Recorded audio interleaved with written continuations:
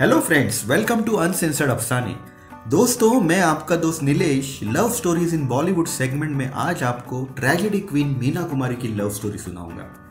मीना कुमारी ने अपनी ज़िंदगी में नाम, शोहरत, इज़्ज़त, पैसा खूब कमाया, लेकिन सच्चा प्यार उन्हें नसीब नहीं हुआ। अगर आप YouTube की भूल भुलैया में भूले भटके से इस चैनल पे पहली बार आए हैं तो चैनल पे सब्सक्राइब का घंटा दबाना ना भूलना, आपके एक घंटे से बहुत फ़र्क पड़ेगा। मीना कुमारी के पिता अली बख्श थिएटर आर्टिस्ट थे, हारमोनियम बजाते थे। तो माँ प्रभावती ठाकुर स्टेज आर्टिस्ट थी। उनकी माँ गुरुदेव रविंद्रनाथ टागोर के खानदान से थी। घर में ऐसी गरीबी और तंगहाली थी कि जब दो लड़कियों के बाद मीना पैदा हुई, तब उनके पिता अली बख्श छोटी मीना को एक अनाथ आश्रम की सीढ़ियों पर छोड़कर भाग आए थे। दो घंटे बाद जब उन्हें अपनी गलती का एहसास हुआ तो वो मीना को लेने वापस लौटे। बचपन से ही घर में ऐसी मुफलिसी का माहौल था कि मीना को पढ़ने और खेल कूद की उम्र में सिनेमा में काम करना पड़ा, ताकि उनके घर का चूल्हा जल सके।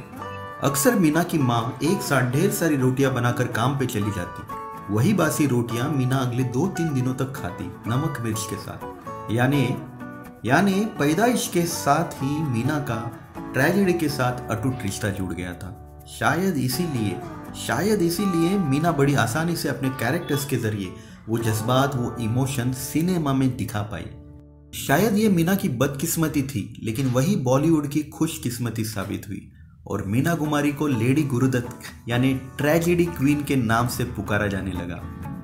अजीब इत्तेफाक है कि गुरुदत्त साहब महज उनचालीस की उम्र में गुजरे थे तो मीना कुमारी अड़तीस की उम्र में। मीना कुमारी इस कदर खूबसूरत थी कि कई एक्टर्स उनके प्यार में दीवाने थे। सुपरस्टार राजकुमार तो मीना कुमारी को इस कदर चाहते थे कि उन्होंने मीना के अलावा कभी भी किसी और हीरोइन को हीरोइन ही नहीं माना। और जब मीना के साथ उनका सीन होता था तो राजकुमार अपने डायलॉग्स भूलकर एक टक बस उन्हें देखा करते थे। जब मीना आठ साल की थी, तब डायरेक्टर कमाल अमरोही उन्हें उनकी एक फ़िल्म में बतौर चाइल्ड आर्टिस्ट लेना चाहते थे। लेकिन वैसा हो नहीं पाया। कमाल अमरोही अपने दौर के सबसे महँगे डायरेक्टर थे। फ़िल्म महल के लिए उन्होंने उस वक्त एक लाख रुपए लिए थे। जब मीना 16 साल की थी, तब उसकी पहली मुलाकात कमाल अमरोही से फ़िल्म तलाश के सेट पर हुई। अशोक कुमार उस फ़िल्म के हीरो थे तो उन्होंने ही कमाल को मीना से मिलवाया। दरअसल कमाल एक बिग बजट फ़िल्म बनाने जा रहे थे अनारकली, और उसके लिए वो मीना को बतौर हीरोइन लेना चाहते थे। लेकिन फ़िल्म के प्रोड्यूसर मनसुख भाई ने मीना को मेन लीड रोल में लेने का आइडिया सिरे से खारिज कर दिया। तब कमाल इस बात पे अड़ गए कि अगर मीना अनारकली का रोल नहीं करेगी तो वो ये फ़िल्म ही नहीं बनाएँगे। फिर क्या? मनसुख भाई ने भी कहा, ठीक है कमाल, अगर तुम्हारी जिद है कि मीना को ही हीरोइन लेना है तो ले लो। लेकिन मैं मीना को तीन हज़ार रुपए से ज़्यादा एक पैसा नहीं दूँगा। उस वक्त मीना की आखिरी फ़िल्म के लिए डायरेक्टर होमी वाडिया ने उन्हें दस हज़ार रुपये दिए थे। तो अली बख्श ने तीन हज़ार रुपये में काम करने से साफ़ मना कर दिया। फिर कमाल ने बीच बचाव करके मीना को पंद्रह हज़ार रुपये में अनारकली के लिए साइन किया। इस कामयाबी का जश्न मनाने मीना अपनी बहन और पिता के साथ महाबलेश्वर गई थी और वापसी में लौटते वक्त उनकी कार का एक्सीडेंट हुआ और उनको पुणे के ससुन हॉस्पिटल में एडमिट किया गया। उस वक्त कमाल अनारकली की शूटिंग लोकेशन देखने दिल्ली, आगरा के दौरे पे थे। जब उन्हें अखबार के ज़रिए मीना के एक्सीडेंट की खबर लगी तो वो दिल्ली से मीना को मिलने पुणे पहुँचे। तकरीबन चार महीने मीना का इलाज चला। इस दौरान कमाल ने मीना का खूब ख्याल रखा, खूब साथ दिया। जब वो उनके आसपास नहीं होते तो मीना को चिट्ठी लिखते। खास बात यह है कि हर चिट्ठी देने के लिए कमाल अपनी कार में अकेले मुंबई से पुणे का सफ़र तय करते थे। कमाल अच्छे राइटर थे तो मीना भी अच्छी शायर थी। मीना भी उनकी चिट्ठी का जवाब चिट्ठी से ही देती थी। मीना को कमाल प्यार से मंजू के नाम से तो मीना कमाल को चंदन के नाम से पुकारती। दोनों की इस लव स्टोरी का ज़िक्र फ़ेमस जर्नलिस्ट विनोद मेहता ने मीना कुमारी की biography Meena Kumari a classic biography में किया है। कुछ महीनों बाद अनारकली की शूटिंग तो शुरू हुई, लेकिन कुछ रील्स की शूटिंग के बाद फ़िल्म अचानक बंद पड़ गई। वजह थी, प्रोड्यूसर मनसुख भाई को शेयर मार्केट में भारी घाटा हो गया था। इस दौरान 1951 में मीना की बैजू बावरा और फुटपाथ रिलीज़ हुई और मीना बड़ी स्टार बन गई। मीना अच्छे से जानती थी कि कमाल उनसे पंद्रह साल बड़े थे, ऊपर से शादीशुदा और तीन बच्चों के बाप। लेकिन लेकिन मीना ने हर एक बात को दरकिनार करके कमाल से गुपचुप तरीके से निकाह पढ़वाया। एक्सीडेंट के बाद हर शाम मीना अपनी बहन मधु के साथ फिजियोथेरेपी के लिए एक क्लिनिक जाया करती थी। अली बख्श खुद उन दोनों को वहाँ दो घंटे के लिए छोड़ जाते। एक दिन अली बख्श ने अपनी कार में मीना और मधु को क्लिनिक छोड़ा और जैसे ही वो वहाँ से चल दिए, वैसे कमाल और उनके सेक्रेटरी बाकर अली वहाँ आए। मीना और उसकी बहन को उन्होंने अपनी कार में बिठाया और अपने साथ ले गए। कमाल ने मीना से निकाह पढ़वाया और दो घंटे के भीतर ही मीना वापस उसी क्लिनिक लौटी। मीना के पिता को इस खुफिया निकाह की कानों कान खबर नहीं हुई।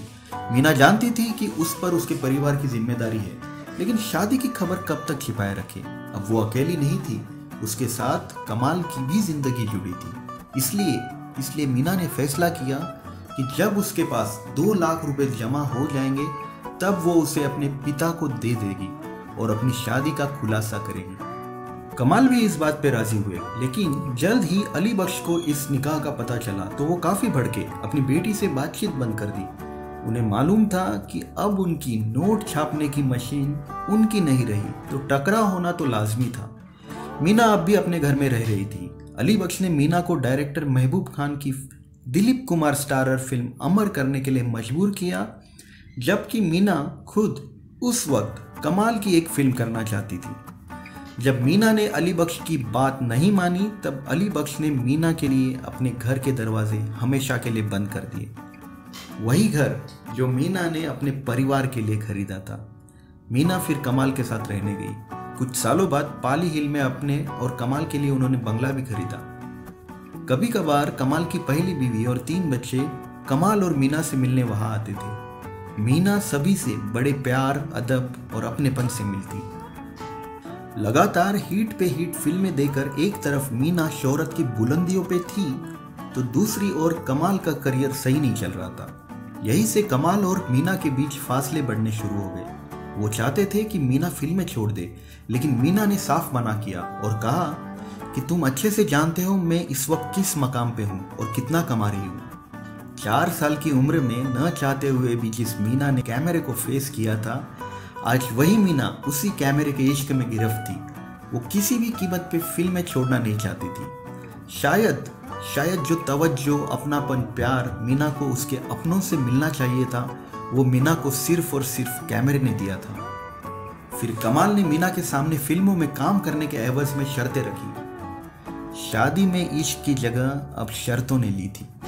मीना ने जब कमाल से शादी की तो उन्हें लगा था कि शादी के बाद उन्हें वो आज़ादी मिलेगी जो उनके पिता के घर उन्हें कभी नसीब नहीं हुई थी।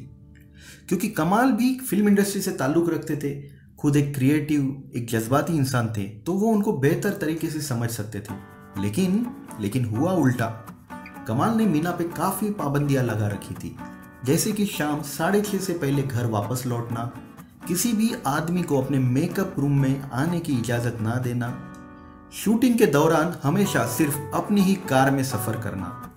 यहाँ तक कि कमाल अमरोही के सेक्रेटरी बाकर अली हमेशा एक जासूस की तरह मीना पे कड़ी नज़र रखा करते थे। मीना को यह सब खटक रहा था और ऐसे में वो घटना घटी कि मीना ने कमाल से अलग होने का फैसला ले लिया।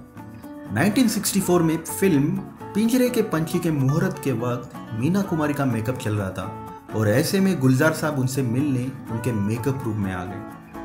कमाल के सेक्रेटरी बाकर अली को जब इस बात का पता लगा कि मीना ने कमाल की अहम शर्त को तोड़ा है, तब वो मीना को भला बुरा कहने लगे और बात इतनी बड़ी कि बाकर अली ने मीना को एक थप्पड़ जड़ दिया। हर बात की एक हद होती है। उस दिन वो हद पार हो गई थी। मीना ने बाकर अली से कहा, कमाल साहब से कहना कि मैं रात घर नहीं आऊँगी। उसके बाद मीना, उनकी बहन मधु जिसने एक्टर महमूद से शादी की थी, उसके घर रहने चली गई। कभी भी कमाल के घर वापस न लौटने के इरादे से। कमाल को जब इस घटना के बारे में पता चला तो वो मीना को ढूंढते ढूंढते महमूद के घर जा पहुँचे। मीना ने कमरे का दरवाज़ा नहीं खोला। कमाल ने माफ़ी मांगी और कहा कि वो बाकर अली को काम से हटा देंगे, लेकिन वो उनके साथ वापस लौट जाए। लेकिन मीना अपनी बात पे कायम रही। आखिरकार कमाल ने कहा, मीना अगर आज तुम मेरे साथ नहीं आई और ये बात कल अखबार में छपी तो याद रखना, मैं तुम्हें कभी भी लेने नहीं आऊँगा। मीना तब भी अपने फैसले पे कायम थी और दोनों अलग हो गए। वैसे ही कहा तो ये भी जाता रहा कि एक दिन कमाल ने गुस्से में मीना को तीन बार तलाक तलाक तलाक कहकर उनका रिश्ता खत्म किया। और जब उनको अपनी गलती का एहसास हुआ, तब उन्होंने वापस मीना से निकाह करना चाहा। लेकिन लेकिन मज़हब के ठेकेदारों ने उन्हें ऐसा करने से पहले हलाला की शर्त रखी।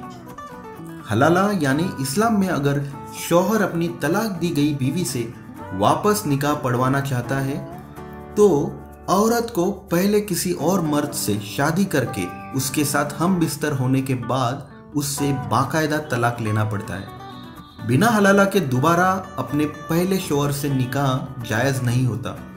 तो कमाल के कहने पे उनके दोस्त अमानुल्ला खान, जो जीनत अमान के पिता थे, उन्हें कमाल ने हलाला के लिए राज़ी किया। फिर कमाल ने दोबारा मीना को अपनी बीवी के रूप में हासिल किया। वैसे मैं आपको बता दूँ कि ऐसे किसी भी वाक्य का ज़िक्र विनोद मेहता की मीना कुमारी पे लिखी बायोग्राफी में नहीं है। ये किताब मीना कुमारी पे लिखी सबसे ऑथेंटिक किताब मानी जाती है। वैसे कमाल अमरोही शिया थे, और शिया मुस्लिम्स में हलाला जैसा कोई रिवाज नहीं होता। यानी मीना कुमारी के हलाला की बात सरासर अफवाह है, एक सफ़ेद झूठ है। अब मीना अंदर से टूट गई थी और बेहद तनहा भी थी और ऐसे में एक दिन उनकी ज़िंदगी में धर्मेंद्र की एंट्री हुई। हालाँकि धर्मेंद्र भी पहले से शादीशुदा थे, लेकिन दोनों एक दूसरे को पसंद करने लगे। उस जमाने के लोग तो ये भी कहते हैं कि धर्मेंद्र ने अपना फिल्मी करियर सेट करने के लिए मीना से नजदीकियाँ बढ़ाई थी, क्योंकि उस वक्त मीना कुमारी बहुत बड़ी स्टार थी तो धर्मेंद्र एक स्ट्रगलर धीरे धीरे धर्मेंद्र ने भी फ़िल्म इंडस्ट्री में अपना एक मकाम हासिल किया और वो मीना से दूर होने लगे। कहते हैं कि उनका अफेयर छह महीनों तक चला था। तनहा मीना अब डिप्रेशन का शिकार हो चुकी थी। रात रात भर उसे नींद नहीं आती। इसी से निजात पाने के लिए उनके डॉक्टर डॉक्टर शाह ने थोड़ी ब्रांडी पीने की सलाह दी। लेकिन लेकिन वो सलाह धीरे धीरे एडिक्शन एक लत बन गई।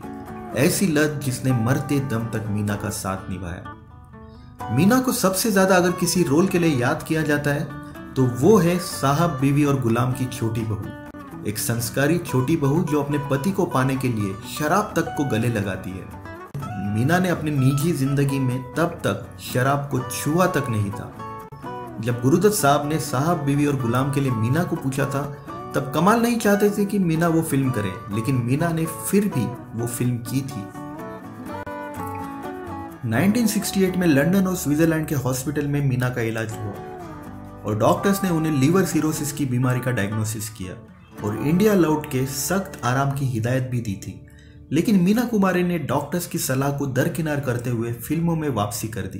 कहते हैं कि शराब की ये लत बाद बाद में इतनी बड़ी कि मीना अक्सर पर्स में और घर के बाथरूम में शराब की एक बोतल छुपा कर रखती थी। मीना की सेहत दिन ब दिन बिगड़ते जा रही थी। फिर एक वक्त वो भी आया कि डॉक्टर शाह ने उन्हें चेतावनी दी कि आपकी अगली ड्रिंक आपकी आखिरी ड्रिंक भी साबित हो सकती है। उसके बाद कुछ अरसे तक मीना ने शराब को अपने से दूर रखा और शराब की जगह ली मीना के पान खाने के शौक ने। मीना दिन भर में 40 से 50 पान खाती और हर पान के बाद बर्फ़ डला हुआ पानी पीती। कमाल संग रिश्तों के सारे पुल गिराने के बाद भी एक पुल दोनों के बीच बचा था। वो पुल था पाकिजा। पाकिजा फ़िल्म अधर में लटक गई थी। कुछ अरसे बाद कमाल ने मीना को चिट्ठी लिखी और कहा कि अगर पाकिजा फ़िल्म पूरी करने के लिए मेरा तुम्हें तलाक देना ज़रूरी है तो हम दोनों के बीच बची इस गिरह को भी मैं हमेशा के लिए खोलने के लिए तैयार हूँ। इसके बाद अगर तुम ये फ़िल्म करो, न करो, इसका फैसला मैं तुम पर छोड़ता हूँ। लेकिन मेरी तुमसे एक ही दरख्वास्त है कि इस फ़िल्म से काफ़ी लोगों की जिंदगियाँ जुड़ी है। काफ़ी लोगों की दुआएँ है कि ये फ़िल्म पूरी हो। और मैं खुद मानता हूँ कि पाकिजा को तुम्हारी ज़रूरत है। पाकिजा की डूबती नैया को बस तुम किनारे लगा सकती हो। दरअसल 16 जुलाई 1956 को पाकिजा का मुहूर्त शॉट हुआ। 1960 में कमाल ने स्क्रिप्ट पूरी की और अगले चार साल में फ़िल्म की कुछ शूटिंग भी पूरी हुई। तब इस फ़िल्म के हीरो थे अशोक कुमार और ये फ़िल्म ब्लैक एंड व्हाइट में बन रही थी। तकरीबन 40 लाख रुपए खर्च भी हुए थे। लेकिन लेकिन जब उन्नीस में कमाल से मीना का रिश्ता टूटा तो पाकिजा की शूटिंग भी रुक गई। 1968 में कमाल और मीना के वेल विशर्स सुनील दत्त साहब, नरगिस जी, खयाम साहब और उनकी बीवी जगजीत कौर ने मीना को पाकिजा करने के लिए जैसे तैसे मना लिया और दोबारा पाकिजा शुरू हुई। लेकिन लेकिन इस वक्त तक अशोक कुमार साहब की उम्र हो चुकी थी। तो उनकी जगह राजकुमार को बतौर हीरो लेकर दोबारा से फ़िल्म शुरू की गई। मीना ने इस फ़िल्म को कलर सिनेमा स्कोप में बनाने के लिए कहा और कमाल मान भी गए। पाकिजा बनने में पूरे चौदह साल लग गए और फ़िल्म लगभग डेढ़ करोड़ में बनी थी। पाकिजा पूरी होने के बाद मीना की तबीयत फिर बिगड़ी।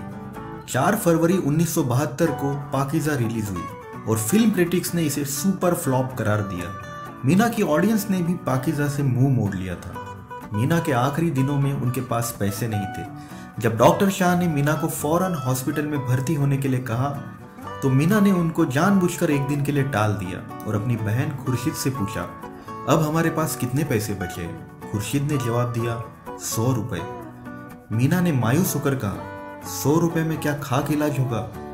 जिस मीना ने तमाम उम्र लाखों रुपए चंदे में दान दिए, अपने 25-30 मतलबी रिश्तेदारों का खर्चा उठाया।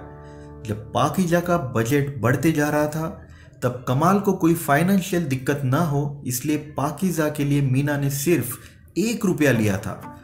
उसी मीना के पास आखिरी दिनों में खुद के इलाज के लिए महज सौ रुपये बचे थे और हॉस्पिटल के रूम का किराया था पैंसठ रुपया रोज।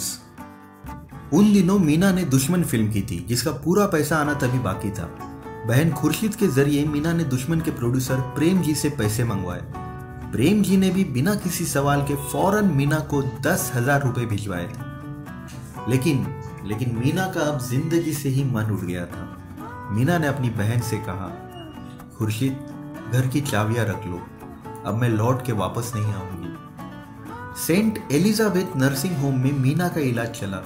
डॉक्टर्स ने मीना के शरीर से तकरीबन तीन बाल्टी भरकर फ्लूइड निकाला, लेकिन मीना को तब भी कोई राहत नहीं मिली। कमाल अमरोही भी पैसों से भरा ब्रीफ केस लेकर हॉस्पिटल पहुँचे थे।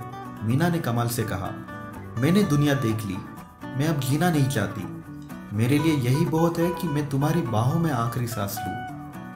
31 मार्च उन्नीस सौ बहत्तर को दो दिन कोमा में रहने के बाद मीना ने दुनिया को अलविदा कहा। कमाल की बेटी रुखसार ने कहा कि छोटी माँ यानी मीना के जाने के बाद कमाल ने मीना के सर पे दुपट्टा ठीक वैसे ही उड़ाया था, जैसे उन्होंने उसे पाकिजा में सजाया था और अपनी मंजू से कहा, खुदा हाफिज।